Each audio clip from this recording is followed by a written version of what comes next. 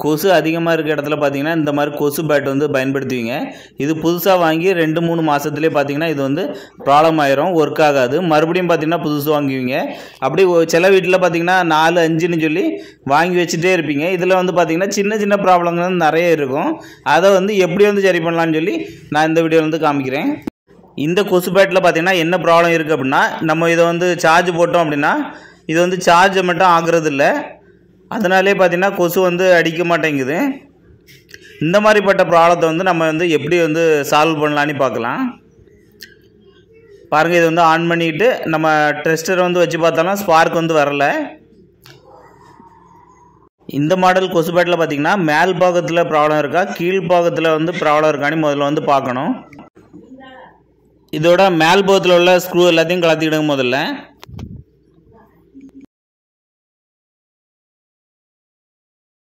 இப்போ மேல் பாகத்தில் உள்ள ஸ்க்ரூ கலத்தியாச்சு இப்போ மேல் பாகத்தை வந்து தனியாக கலத்தணும் இதுக்காக டெஸ்டர் வச்சு இந்த மாதிரி நெம்புனீங்கன்னா இது வந்து தனியாக வந்து கலந்து வரும்.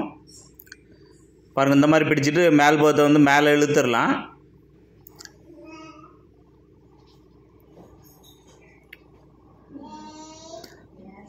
இப்படி தனித்தனியாக கலந்து வரும்.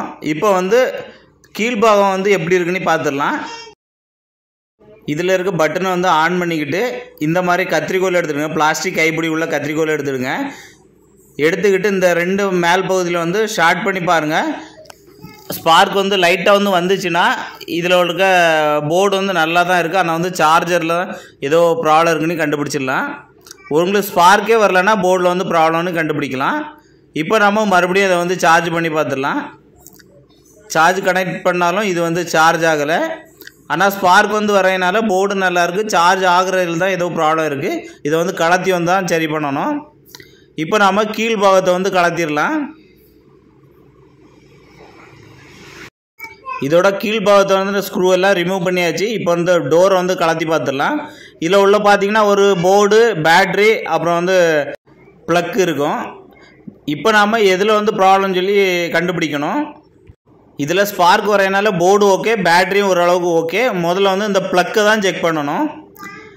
பாருங்கள் இந்த ப்ளக்கில் வந்து என்ன ப்ராப்ளம் இருக்குது அப்படின்னா இதோட ஒரு பின்னை பாருங்கள் லைன் ஒன்றுமே விடலை பேட்டரி எல்லாமே நல்லாயிருக்கு இதில் பின்னை பாருங்கள் இதை நம்ம ஓப்பன் பண்ணும்போது இதில் பேக் சைடில் இருக்கக்கூடிய பார்த்தீங்கன்னா அந்த பின்னில் வந்து கனெக்ட் ஆகிருக்கும் ஆனால் ஒரு பக்கம் பார்த்தீங்கன்னா சைடில் வந்து இருக்குது. கான்டாக்ட் கிடைக்காம இருக்கனால தான் இந்த ப்ராப்ளம் வந்து வந்திருக்கு. இப்படிப்பட்ட வந்து என்ன எதனால் இப்படிப்பட்ட ப்ராப்ளம் வரும்னா அடிக்கடி கீழே விழுந்துச்சு அப்படின்னா இந்த மாதிரிப்பட்ட ப்ராப்ளம் வந்து வரும். இதில் போட்டிருக்க ஸ்க்ரூ வந்து லூஸ் ஆகி இந்த மாதிரி ஒரு ப்ராப்ளம் வரும். பாருங்கள் ஒரு பின் வந்து த தள்ளி நிற்குது இதை வந்து சரி பண்ணலாம். இந்த பின்னை வந்து பார்த்திங்கன்னா நேராக வந்து வச்சுடுங்க. வச்சுக்கிட்டு அதில் இருக்க ரெண்டு ஸ்க்ரூ போட்டிருப்பாங்க. அந்த ஸ்க்ரூ வந்து டைட் பண்ணி விட்ருங்க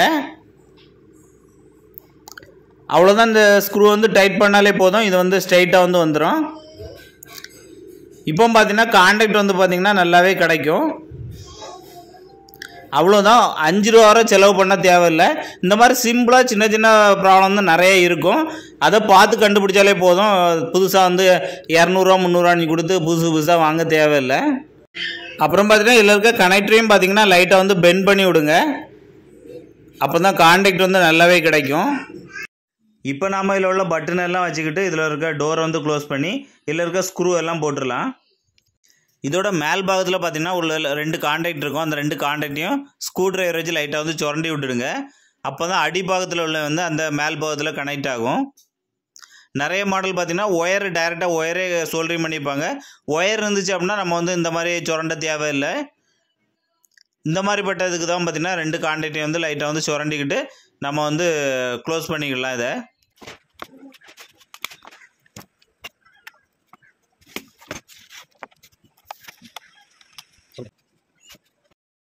இப்போ நம்ம இதோட மேல் பகுதியில் உள்ள ஸ்க்ரூ எல்லாம் போட்டுடலாம்.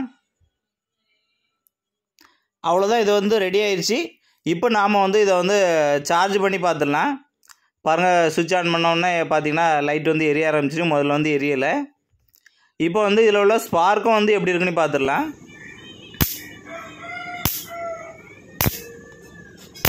ஸ்பார்க் எல்லாமே நல்லா வருது.